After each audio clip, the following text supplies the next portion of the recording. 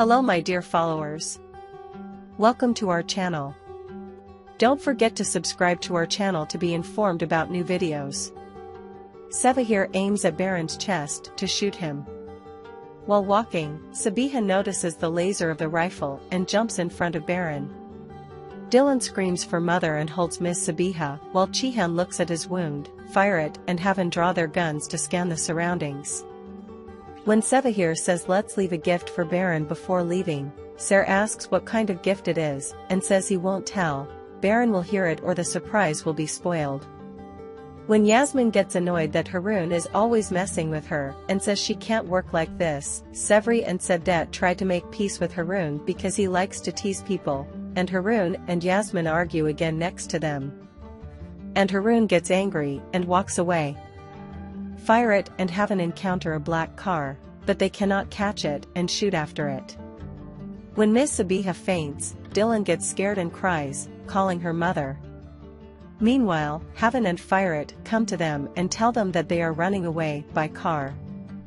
When Baran says, you go to the hospital, I'll check somewhere else, Dilan doesn't want to send Baran alone. When Dilan is not convinced, Chihan says he will go with his brother and they convince Dilan. While Sevahir is making plans for Baran, he warns Ser to prevent his anger. By saying block me when I can't control my anger. While looking around, Baran finds the place and chair where Sevahir was watching his ladies. There they also find the queen pawn that Sevahir left as a gift. He expresses his anger to Chihan, saying, I will find him, he will fall at my feet and ask for forgiveness, but I will not show him the slightest mercy. Ms. Azaid and Mr. Kudret are very happy to see Chihan and they immediately hug each other. While everyone is hugging Chihan, Mr. Hassan wishes him get well soon from afar. When Mr. Kudret cannot see Dilan with them, Dilan asks where my daughter is.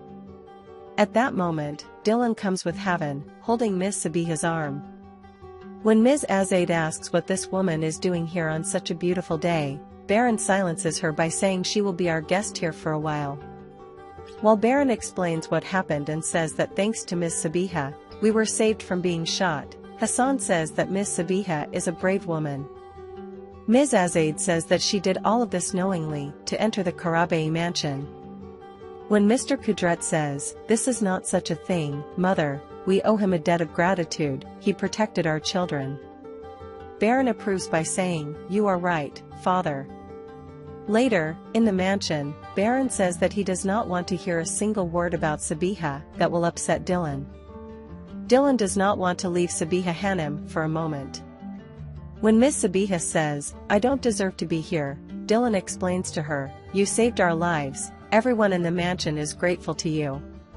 Baran, on the other hand, thinks about what happened in his study and gets angry and breaks the pen in his hand out of anger. Together, they talk about why he left the pawn and what he went through when Chihan was kidnapped and plan how to act from now on. When Firat's phone rings, he says, You scared us, little uncle, I have to go, and leaves the room.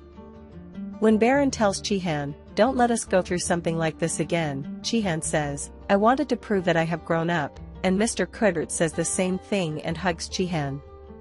When Dilan does not want to leave Sabiha's side, he always sits by her bedside. Miss Sabiha is also worried about him and persuades him to rest for a while, even if it is by force. When Dilan leaves the room, Havan asks Sabiha Hanım if Mr. Baran will ask if you will tell him what Sevahir did. Miss Sabiha says I don't know, but all I know is that I have to try harder to protect my daughter and her husband. Firat comes to Gul and while Gul is hugging his neck and saying that he is very scared for her, Azaid Hanım sees them. Firat says I don't want to be without you anymore, let's say, let's end this torture, and they hug again. When Dilan sees Chihan and asks how he is, Chihan says, I'm fine, thanks to you, Auntie. Then they hug Dilan and Baran, saying goodbye to Dilan and Baran. When Chihan goes to his room to rest, Ms. Baran Sabiha asks how we should stop by and thank her for what she has done for us. Dilan is very happy, but he was going to sleep. My mother is aware of what he did. Baran holds his hand and they walk towards their room. Severi and Sevdet both talk to Harun and Yasmin separately and try to persuade them. When Baran comes to the room, he tells Dilan that we went through very difficult things today, we barely saved Chihan, and how he is afraid that something might happen to you. When he says, from now on, you will do whatever I say, Dilan asks, are you going to make all the decisions? While Baran warns Dilan that we should be more careful, Dilan says I would do the same thing again, there are places where I cannot listen, but Baran holds his mouth and prevents him from speaking.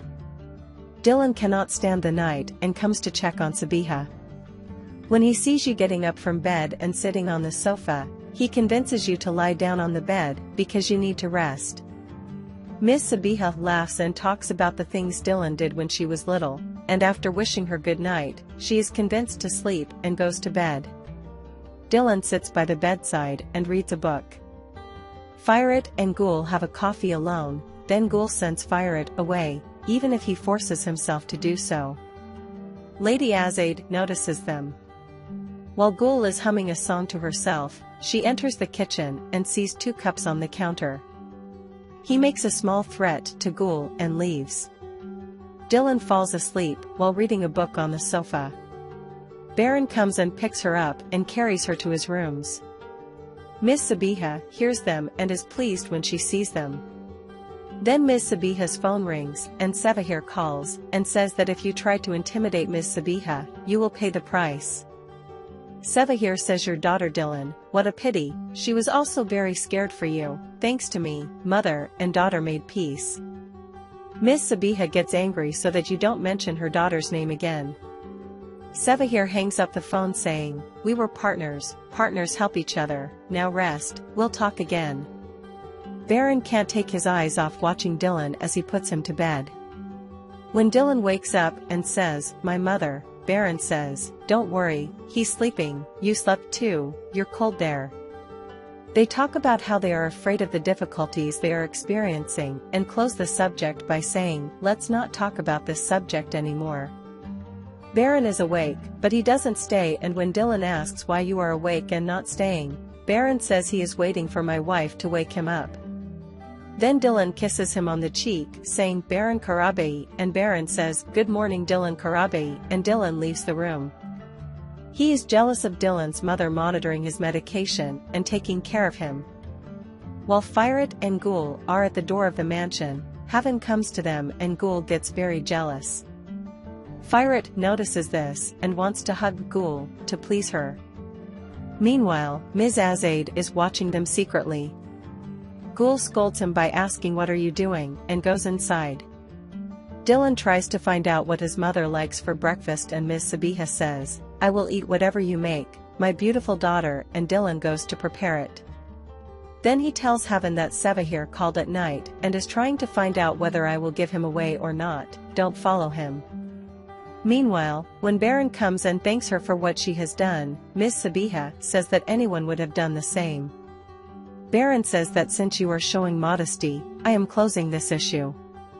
Then, coming to the obvious issue, he asks who is this big partner who is trying to harm my loved ones? When Miss Sabiha says she doesn't know, Baran says, you said that Haven was the instigator, but I talked to a man we found and he said do it. Miss Sabiha lies again, but Baran poses a huge threat to Dilan, please tell me who this man is. While Dilan approaches the room with a breakfast tray. You can share your valuable opinions in the comments section. Don't forget to subscribe and turn on notifications for more videos. See you in the next video. Take care of yourself. Goodbye.